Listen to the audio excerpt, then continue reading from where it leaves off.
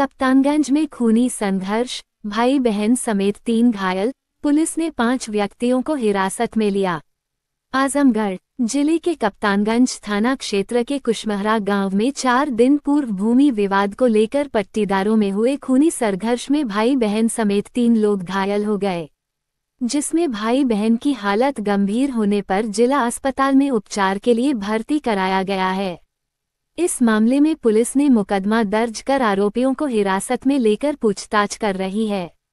कप्तानगंज थाना क्षेत्र के कुशमहरा गाँव के रहने वाले निवासी संतराम पांडेय का अपने पट्टीदार सुग्रीव पांडेय से ज़मीन का विवाद था। संतराम पांडेय ने आरोप लगाया कि एक नवंबर को रात करीब आठ बजे उनके पुत्र अभियान पांडेय से उनके पट्टीदार सुग्रीव से कहा सुनी हो गई। इसी बात को लेकर सुग्रीव पांडेय, हनुमान पांडेय अनिल पांड्या और राम भुवन उनके घर में घुसकर गाली गलौज करते हुए उनको व उनके भतीजे अवध बिहारी पांडेय व भतीजी मनीषा पांडेय को बुरी तरह से मारपीट कर घायल कर दिया। इसी दौरान सुग्रीव पांडेय ने अपनी लाइसेंसी बंदूक लेकर मौके पर आए और बार बार जान से मारने की धमकी दे रहे थे। मारपीट में बुरी तरह से घायल संतराम की भतीजी व भतीजे को उपचार के लिए जिला अस्पताल में भर्ती कराया गया। इस मामले में पीड़ित की तहरीर पर पुलिस ने पाँच आरोपियों सुग्रीव अगद हनुमान, अनिल व रामभोव के खिलाफ मुकदमा दर्ज किया है। वहीं एसपी ग्रामीण चिराग जैन ने बताया कि भूमि विवाद को लेकर कुशमहरा गाँव में भूमि विवाद को लेकर मारपीट की सूचना मिलने पर थानाध्यक्ष तत्काल मौके पर पहुँचे। मौके पर मारपीट में एक महिला समेत दो लोग घायल थे, उनको जिला अस्पताल में भर्ती कराया गया।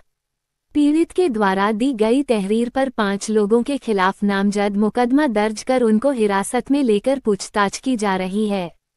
आगे जो भी तथ्य प्रकाश में आएगी उसके आधार पर कार्रवाई की जाएगी। थाना क्षेत्र का के कुछ महारा गाँव का एक वीडियो सोशल मीडिया पर वायरल हो रहा है, जिसमें एक लड़की और एक लड़के, कुछ लड़के कुछ लोग मारते पीटते हुए दिखाई दे रहे हैं बगल में पुलिस की गाड़ी भी खड़ी है।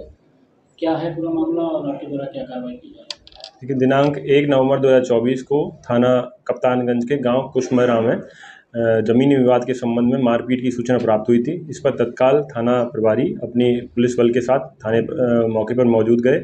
वहाँ पर मारपीट में दो व्यक्ति घायल थे जिसमें एक महिला भी थी।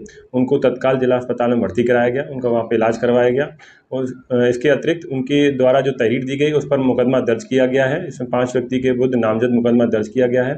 उन लोगों को भी हिरासत में लेकर उनसे पूछताछ की जा रही है। सभी विधिक कार्रवाई की जा रही है। जो भी तथ्य आगे प्रकाश में आएँगे उनके आधार पर अग्रिम विधिक कार्रवाई की जाएगी। जमीनी विवाद मारने पीटने का बताया जा रहा है। और गहनता से जाँच चल रही है। विवेचना क्रम में जो भी शख्स है आएँगे उनके आधार पर कार्रवाई की जाएगी। कितने लोग इसमें पाँच लोगों को हिरासत में लेकर पूछताछ की जा रही है और जो भी साक्ष्य मिलेंगे आगे उसके आधार पर कार्रवाई करेंगे।